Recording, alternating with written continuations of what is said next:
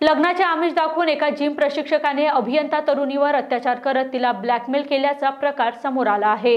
आरोपीने photo viral करण्याची धमकी देत तिच्याकडून साडेसहा लाख रुपये देखील उकळले. पारडी पोलीस ठाण्याच्या हद्दीत ही घटना घडली आहे. रोहित संजय पांडे वय बेचाळीस वर्ष राहणार हुडकेश्वर असे आरोपीचे नाव आहे. तो जिम प्रशिक्षक आहे.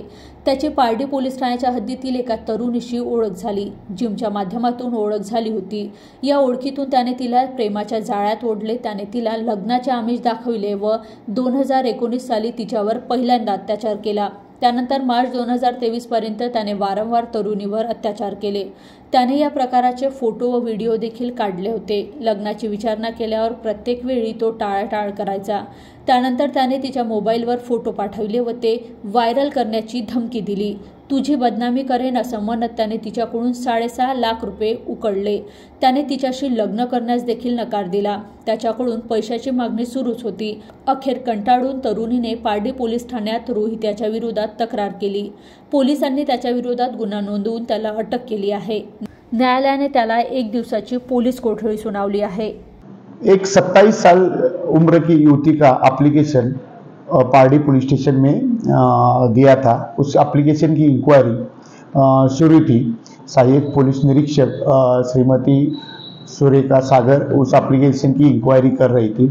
एप्लीकेशन की इंक्वायरी में सत्ताईस साल की युवती ने बताया कि वो पारडी पुलिस स्टेशन हद में रहते समय रहते समय उनका परिचय परिचय, उनका परिचय रोहित संजय पांडे, रहना संतोषी संतोषी नगर, हुडकेश्वर रोड, नागपुर इस व्यक्ति से हो गया। उसका परिचय का, उनका परिचय के बाद उन्होंने उनके साथ ज़बरदस्ती से शारीरिक संबंध रखे और शादी करने का उनको भरोसा दिया। शादी करने के भरोसा देते हुए अभी तक उन्होंने उनसे वो जिम जिम खोलने के बहाना बता के या इमोशनल ब्लैकमेल करने से, करके उससे छह लाख पचास हज़ार रुपए ले लिए और शादी भी नहीं की। ऐसा एप्लीकेशन में सामने आया।